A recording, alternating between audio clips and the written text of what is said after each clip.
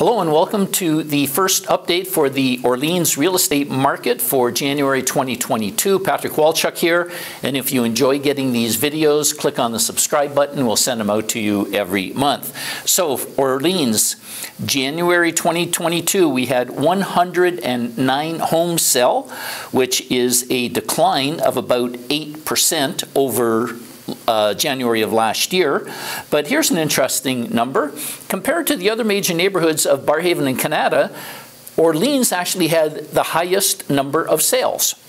Now, when we break that down into uh, freehold and condos, for freeholds, there were 87 homes sell.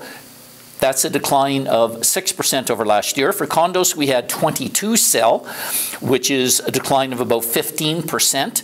Now, the prices, freehold prices. The average price is about $757,000, which is an increase of 15%. So the number of homes sold down, prices up about 15%. For condos in Orleans, we had 400, or the average price is 442,000, and that's a huge increase of 22% over last year. And uh, last fact for you here, in terms of how long it was taking to sell, they were selling in 11 days compared to about nine last year. Thank you for watching this video.